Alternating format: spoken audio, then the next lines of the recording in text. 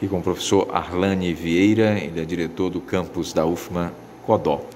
Professor, notícia boa aqui, a UFMA está disponibilizando 20 máquinas, 20 computadores com todo o suporte para ajudar alunos no SISU, fazer inscrição no SISU. Me explique sobre isso, por favor.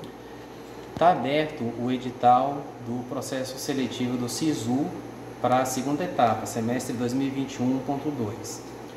É, nesse ano, o campus vai oferecer o suporte é, técnico para que o aluno consiga fazer sua inscrição e realizar todas as outras etapas do processo seletivo, ofertando computadores e a internet, que muitas vezes o aluno tem uh, essa dificuldade.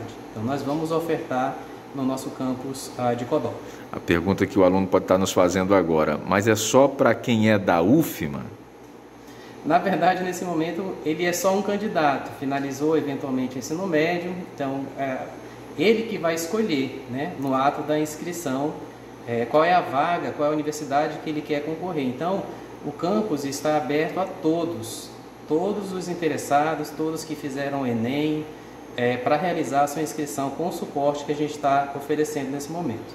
Professor, e vai até quando? É preciso ter uma certa, né, a rapidez nisso aí. Exatamente. O edital para o SISU 2021.2 está disponível na página da universidade www.ufma.br.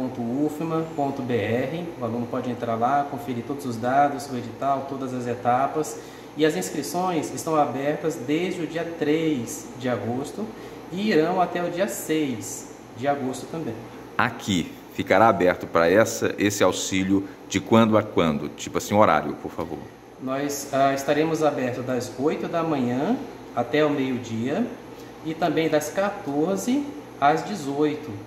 Todas essas informações estão disponíveis, ah, detalhadas no edital, que está na página da universidade.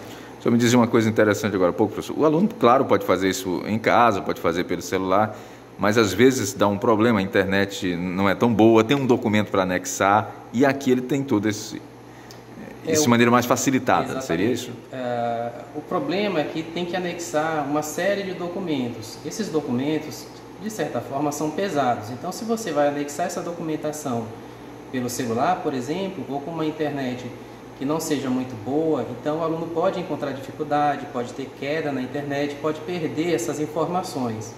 Aqui no campus, a gente tem uma internet melhor, tem um suporte melhor e ele pode fazer com mais uh, tranquilidade.